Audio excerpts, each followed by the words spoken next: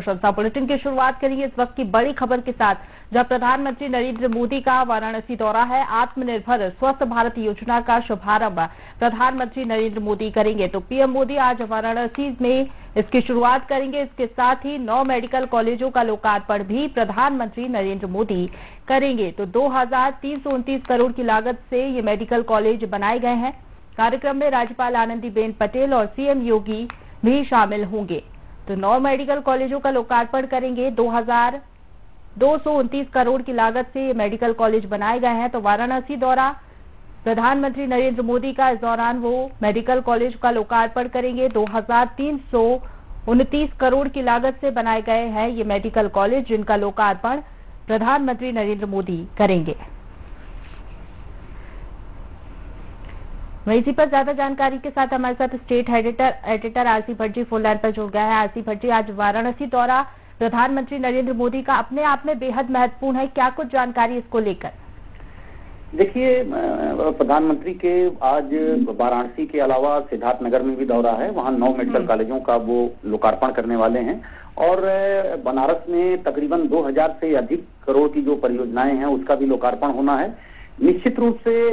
अब उत्तर प्रदेश में 2022 में विधानसभा के चुनाव होने हैं और लगातार मुख्यमंत्री के साथ साथ अब प्रधानमंत्री भी उत्तर प्रदेश में लगातार दौरे हम्म। कर रहे हैं क्योंकि वाराणसी उनका गृह जनपद है और जिस तरह से लगातार अगर हम विश्वनाथ कॉरिडोर की बात करें बनारस में हम्म। गंगा की सफाई की बात करें या फिर बनारस को और अति आधुनिक करण करने की बात करें फिर वहां पे जो उन्होंने तमाम एज ए सांसद होने के नाते और उसके साथ साथ प्रधानमंत्री होने के नाते अपनी संसदीय क्षेत्र के लिए तमाम योजनाएं उन्होंने शुरू की थी अब निश्चित रूप से कहा जाए कि वो अब वो समय आ गया है कि जो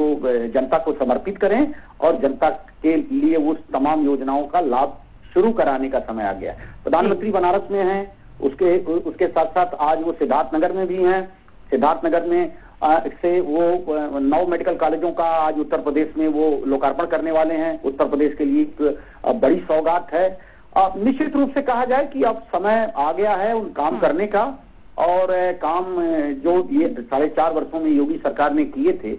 वो तमाम कामों का अब जो है पूरा हो, हो होने के बाद उसका लोकार्पण का जो कार्यक्रम है वो लगातार पहले तो योगी आदित्यनाथ के द्वारा और अब प्रधानमंत्री के द्वारा जो बड़ी परियोजनाएं हैं उत्तर प्रदेश की क्योंकि प्रधानमंत्री उत्तर प्रदेश से लोकसभा के सांसद हैं तो वो परियोजनाओं का उद्घाटन अब प्रधानमंत्री जी द्वारा स्वयं किया जा रहा है जी जी आसिफर जी बेहद कम बचे बचा है विधानसभा चुनाव में ऐसे में सरकार की कोशिश यही कि जो तमाम योजनाएं हैं वो आचार संहिता लगने से पहले लागू कर दी जाए और जनता को इसका सीधा लाभ मिल सके इसी कड़ी में हम देख रहे हैं अट्ठाईसवा दौरा है ये प्रधानमंत्री नरेंद्र मोदी का और हमने सीएम योगी आदित्यनाथ को भी देखा कई योजनाएं वो लागू कर रहे हैं कई घोषणाएं कर रहे हैं इसलिए पहले से ही हाँ निश्चित रूप से ये बीजेपी की स्ट्रेटजी है अगर यूपी बीजेपी की बात करें और खासतौर पर जो बीजेपी के राष्ट्रीय संगठन नेतृत्व हैं वो भी उनकी भी ये स्ट्रेटजी है कि किसी भी तरह से नरेंद्र मोदी को उत्तर प्रदेश के चुनाव में आगे किया जाए योगी आदित्यनाथ लगातार जनसभाएं कर रहे हैं लेकिन प्रधानमंत्री को भी आगे कर कर तमाम योजनाओं का उद्घाटन किया जाए लोकार्पण किया जाए जिससे कहीं ना कहीं जनता के प्रति एक रुझान जो करंट है वो जिस तरह से 2017 और 2014 में बना था वो बन, बनता नजर आए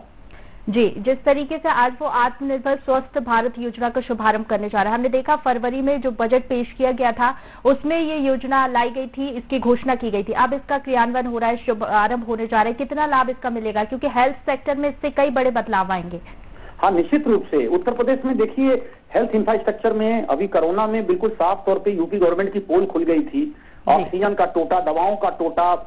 भर्ती का टोटा ये तमाम चीजों की जो शॉर्टेज थी जो बिल्कुल साफ तौर पे दिख रही थी कि इसकी भारी कमी है उससे लेकर कहीं ना कहीं ये पहले से अंदेशा लगाया जा रहा था यूपी गवर्नमेंट यानी यूपी सीएम योगी आदित्यनाथ द्वारा की इंफ्रास्ट्रक्चर पिछली सरकारों ने बहुत ज्यादा नहीं दे पाई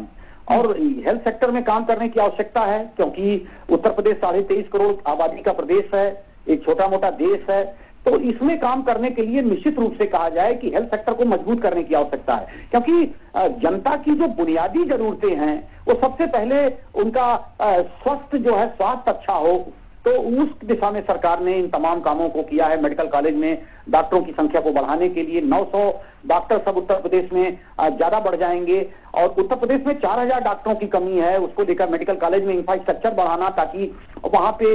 भर्ती होने की सुविधा हर एक जनपद में जिस तरह से सरकार ने एक नारा दिया है कि हर एक जनपद में एक मेडिकल कॉलेज तो निश्चित रूप से कहा जाए कि ये सरकार की एक बड़ी कोशिश है और उसका हेल्थ सेक्टर में काफी जो है प्रभावी रूप से कहा जाए कि ये बदलाव देखने को मिलेगा जी चलिए बहुत शुक्रिया आपका तमाम जानकारी के लिए आरसी भट्ट जी तो प्रधानमंत्री नरेंद्र मोदी वाराणसी दौरे पर रहेंगे इस दौरान वो आत्मनिर्भर स्वस्थ भारत योजना का शुभारंभ करेंगे इस योजना का उद्देश्य यही कि कैसे हेल्थ इंफ्रास्ट्रक्चर जो है वो उसको मजबूत किया जाए और पीएम नरेंद्र मोदी वाराणसी से इसकी शुरुआत करेंगे साथ ही साथ सिद्धार्थनगर के दौरे पर भी रहेंगे प्रधानमंत्री नरेंद्र मोदी यहाँ पर वो नौ मेडिकल कॉलेजों का लोकार्पण करेंगे तो कार्यक्रम में राज्यपाल आनंदीबेन पटेल और मुख्यमंत्री योगी आदित्यनाथ भी मौजूद रहेंगे